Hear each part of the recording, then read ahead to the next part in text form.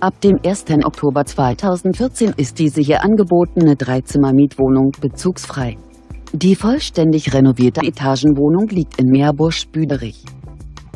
Das im Jahr 1963 erbaute Haus verfügt über zwei Etagen.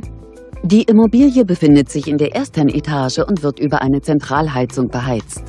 Das Objekt verfügt über einen Balkon, zwei Schlafzimmer sowie ein Badezimmer.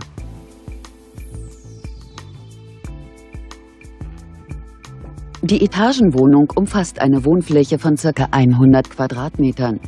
Die Gesamtmiete dieser Etagenwohnung beläuft sich auf 1000 Euro.